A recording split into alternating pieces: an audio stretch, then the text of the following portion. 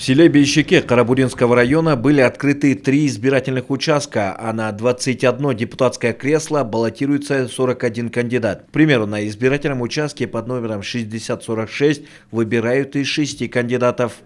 Карабура номер 6046 шайлоо участкасында 931 на этом участке зарегистрирован 931 избиратель. Наблюдается активная явка. Выборы проходят с соблюдением всех норм и требований.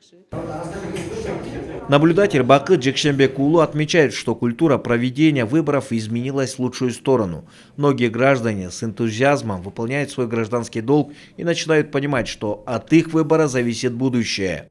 Э, талапкерлер азыркы талапкерлер маданияттуу эл дагы маданияттуу болуп выборы проходят спокойно. К примеру в былые года если наблюдался подвоз избирателей а вот нынешние выборы проходят иначе и избиратели и кандидаты ведут себя корректно. Сами кандидаты тоже стали более ответственно и осознанно участвовать в выборах, а главное, соблюдая все правила выборного процесса. бұл орозо учурундағы бүгүнкү шайлоо эң чоң жоопкерчилик тартат деп ойлойм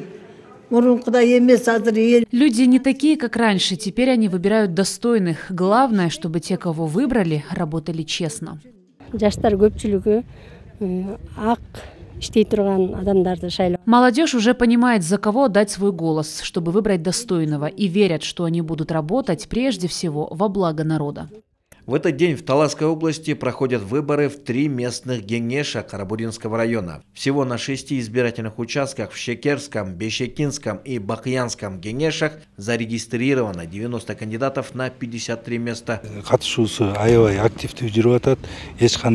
Из 90 кандидатов 39 женщины. Думаю, они заполнят 30-процентную квоту. Избиратели принимают участие ответственно. Проблем при голосовании не было.